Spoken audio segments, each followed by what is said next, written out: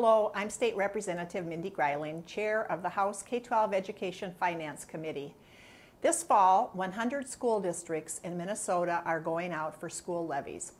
Some will pass, others won't.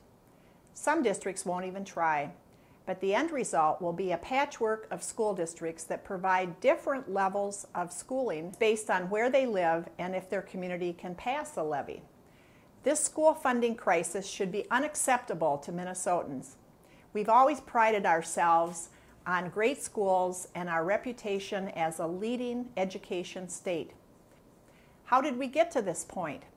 For more than a decade and a half, schools in Minnesota have struggled, rarely getting enough state funding to keep pace with inflation. Things got worse in 2003.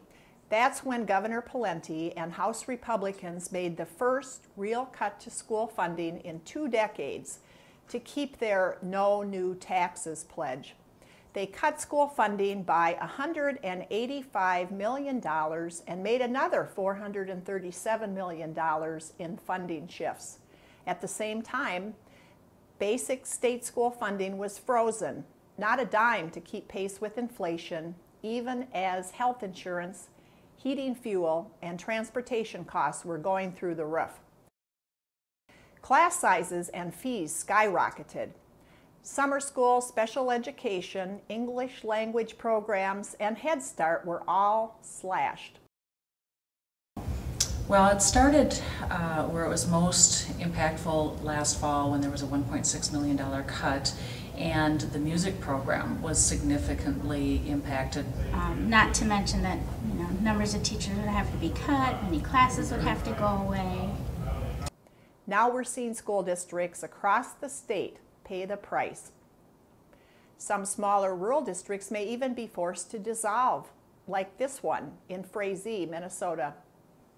As a parent, it's been very challenging for me. When the last referendum failed, at that time my son was eight, and he came home and he said to me,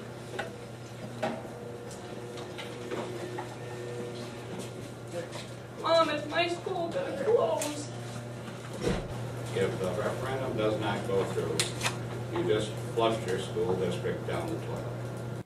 Property taxes were never meant to be a primary source of funding schools, and yet those 100 Minnesota school districts have no other choice given the current funding climate.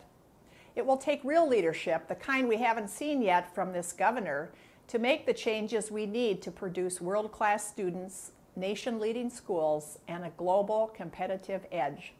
Without real leadership, we're destined to fail in more ways than one. We can do better. We must do better.